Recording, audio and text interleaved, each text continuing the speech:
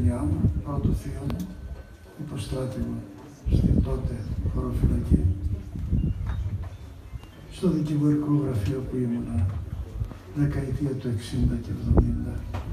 Ο δικηγόρος μου είχε τον υπαρχηγό της χωροφυλακής, τον πατέρα του, και έτσι ζω αυτό το σώμα και από μέσα και από κοντά και προσευχόμενος.